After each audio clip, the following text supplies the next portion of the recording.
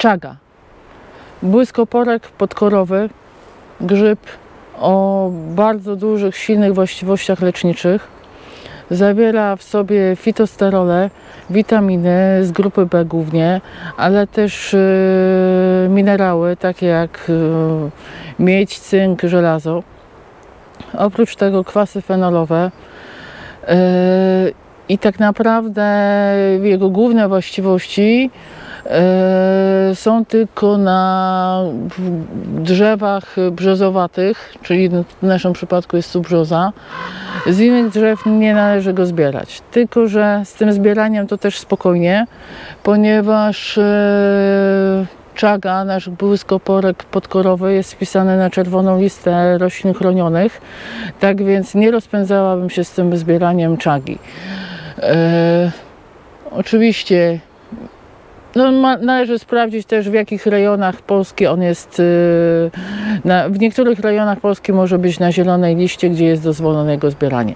Natomiast yy, co jest ważne, on jest z zewnątrz czarny, natomiast jeśli go, byśmy go rozłupali, w środku jest rdzawy. Yy, ale ta czarna narośl też ma duże właściwości. Yy, ta czarna narośl jest stosowana przy leczeniu raka wątroby oraz trzustki. Natomiast y, takiego ogólne właściwości lecznicze to jest właśnie w leczeniu nowotworów, e, we wspieraniu odporności, badania wykazują, że bardzo mocno wspiera naszą odporność. E, przy leczeniu wszelkich infekcji, e, wzmacniająco, no i tak jak wspomniałam przy nowotworach. Tylko, że uwaga, nie leczymy się sami. E, nie ma nic ważniejszego jak profesjonalna diagnoza medyczna u lekarza, onkologa. Nie możemy sami być dla siebie lekarzami, ponieważ nawet jeżeli ktoś się bardzo dobrze zna na, nie wiem, ziołach, grzybach i tak dalej, to i tak e, to i tak może się mylić, zwłaszcza, że wchodzą jakieś tam emocje do tego. Więc najpierw konsultacja lekarza, e, lekarska, później możemy się wspomóc z leczeniem. Jak możemy przyrządzić, jeśli już uda nam się go gdzieś zebrać? Przede wszystkim są to herbatki. E, I co jest ważne, chyba najważniejsze w tym, że tu nie ma żadnych przeciwwskazań, nie ma dawkowania. Możemy pić wywary, odwary z, z proszka, z tego grzybu właściwie tyle, ile jesteśmy w stanie wypić. E, nie ma żadnych skutków ubocznych.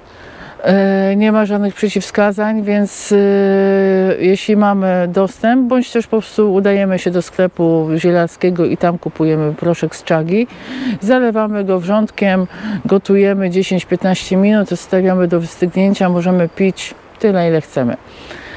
E, to tyle. Pamiętajmy o jednym.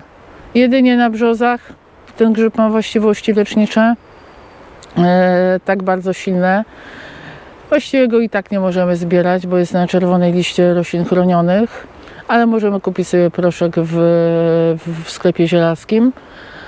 E, I co? I dużo zdrowia życzę.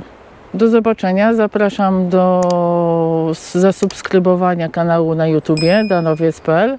Zapraszam na moją stronę danowiec.pl, gdzie można się dowiedzieć mnóstwo ciekawych informacji o roślinach i też grzybach zapoznać się też z moimi produktami ziołowymi e, i na profil na Facebooku Danowiec. Dziękuję i do zobaczenia.